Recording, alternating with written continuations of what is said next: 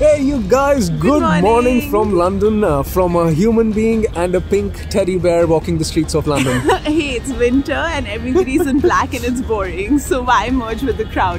But today we're out and about in London. All of us have heard so much about super expensive Instagrammable cafes and stuff in London, but this is something we wanted to do for a long time, which is six or seven of our favorite photography spots in Right. London. They're all free of cost, and we just want to take you along. Today we're not even carrying any expensive or crazy camera gear. We just have Vid's phone. Yeah, and let's I'm, go. I'm so excited. This list of uh, the most uh, photographable spots in London can't begin without the mention of Tower Bridge, and that's where we are. Love it to bits. Now it can get very crowded as the day progresses, but we have a secret spot, so let's go there. Welcome to our super secret hidden spots right next to Tower Bridge. All you have to do is walk under the bridge across this uh, restaurant called Vault and there's a nice little spot right besides the restaurant where you can just come there's not a single soul here and you can come and enjoy this beautiful view of tower bridge and take some photos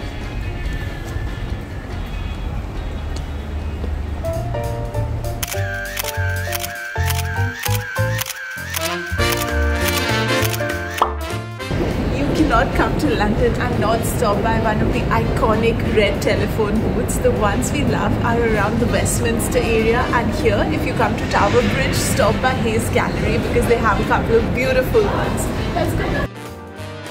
Savi sneaking into the booth oh hello who are you calling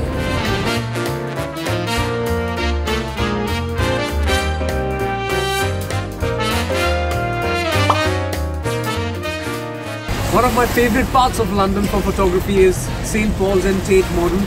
Come here, visit the Tate Modern, walk across Millennium Bridge, and I have a little secret. Now, when the tide is low, come down to the riverbed because that gives you an amazing view of the bridge and St. Paul. Now the tide is rising, so let's get out of here and shoot some hyperlapse videos on the Millennium Bridge, which is right there, and try to get St. Paul's in the frame as well. Let's go!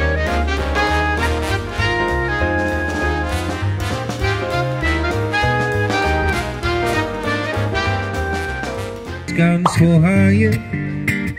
Weekends are pretty crazy here, but if you're free on a weekday, then you have to come down to Greenwich. It's so beautiful, and you have all of this for free. Make sure you visit the historical monuments in the area, check out the university, walk by the river.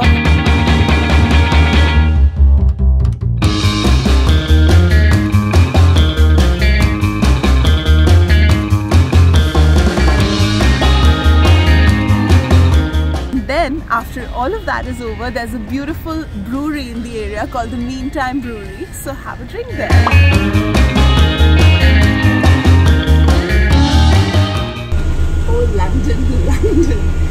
Listen, it was so cold this morning and then it started raining. So we hopped into a bus because we want to go to a food market and now the sun is The sun is out, but you know, times. food markets are another place where we love photographing, and there are plenty of them. There's Portobello Road, there's uh, Borough Market, yeah, and, and Greenwich, Greenwich Market, is really good too. All of them are beautiful. amazing produce, good food, and truly yummy stuff.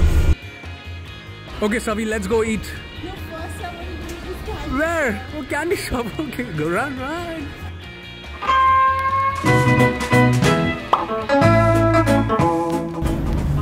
London's parks are free to visit and they're beautiful, especially during spring and autumn. Now, if you find yourself here in London in autumn, you definitely must go to Hampstead Heath and Regent's Park. They're beautiful. Also, check out some of the by lanes around Kensington for some beautiful autumn colors. Now, all this beautiful fall foliage calls for some slow mo videos. Let's go!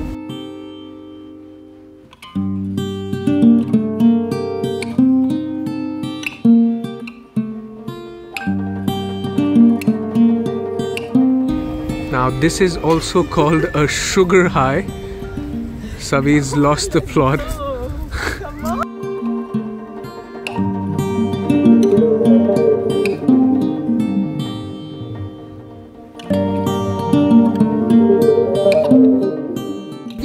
Ourselves quite at home in this gorgeous autumnal paradise. And I hope you really, really took something from this video. We had such a great time shooting it, despite the sniffles.